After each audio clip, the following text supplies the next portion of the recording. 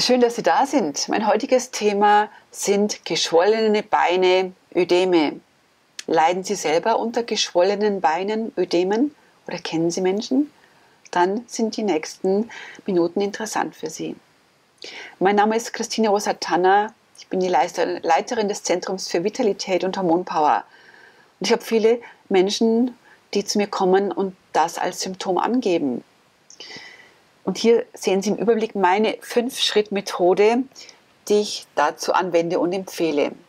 Der erste Schritt ist, dass hauptsächlich und ursächlich körpereigene Hormone eine Rolle spielen können.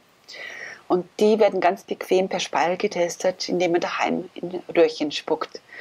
Meist ist es so, dass oft ein Hormon zu hoch ist, das Estradiol, und andere Hormone zu tief sind, wie zum Beispiel Progesteron, Testosteron, Cortisol, DHA.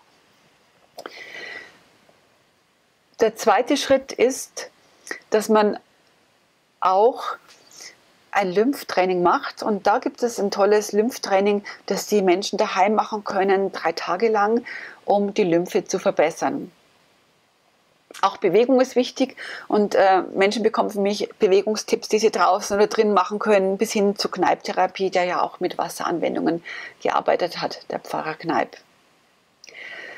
Was wichtig ist, dass man auch vielleicht aus Nahrungsempfehlungen das raussucht, was einem schmeckt und dazu gebe ich auch diverse Rezepte, was die Leute dann kochen können und auch genießen können.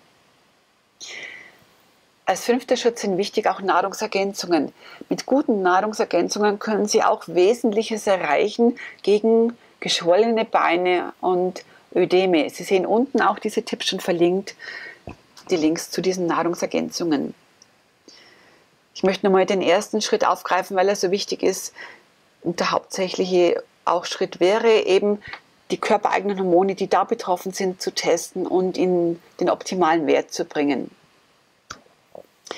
Ich freue mich, wenn Sie betroffen sind und mir ein E-Mail schicken. Sie sehen meine E-Mail-Adresse unten. Dann können wir für Sie speziell auch das weitere Vorgehen besprechen.